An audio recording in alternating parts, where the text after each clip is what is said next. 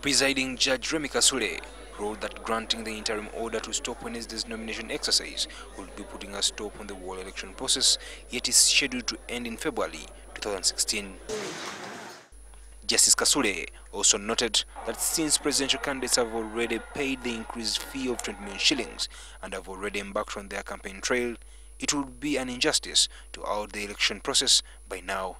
The judge advised the petitioners, including members of the Conservative Party and youths from the Inter-Party platform, to pursue the main application in which court may grant appropriate orders on merit.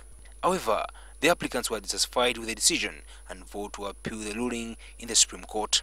Are they denying Ugandans their right to be represented? And why is it that why is it that it is now?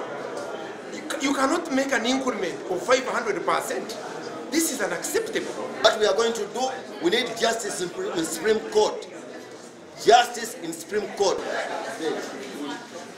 The applicants petitioned court over the amendment that hiked nomination fees for members of parliament from 200,000 to 3 million, something that is contested as aiming to ring-fence parliament for the wealthy. Why should government eh, close the doors? Government doesn't want us to come on board. The nomination exercise for parliamentary candidates is scheduled for the 2nd and 3rd of December under the newly passed amendments to the Parliamentary Election Act.